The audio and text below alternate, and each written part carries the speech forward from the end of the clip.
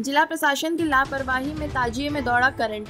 Karbala की ओर बढ़ रहे ताजिए में दौड़ा करंट। डेढ़ दर्जन लोग घायल, एक ताजिएदार की मौके पर मौत।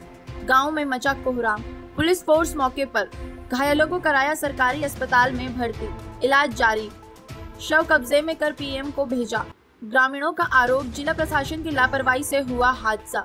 कहने के बावजूद नहीं रुकवाई बिजली सप्लाई। जिला प्रशासन देता ध्यान तो नहीं होता ये हादसा।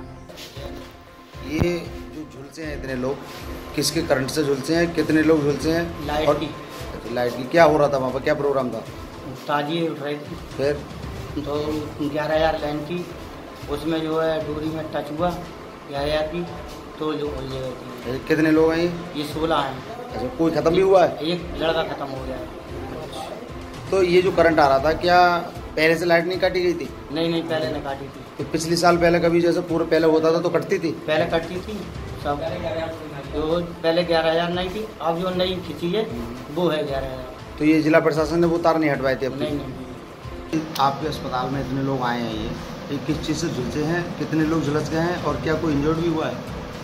हाँ, इसमें हमारे पास ये जो गाँव बुधपुर है यहाँ पर बिजली ताजिए के चलते ना बिजली का जो है कोई ग्यारह हज़ार वोल्ट का इलेक्ट्रिक का कुछ हादसा हुआ है।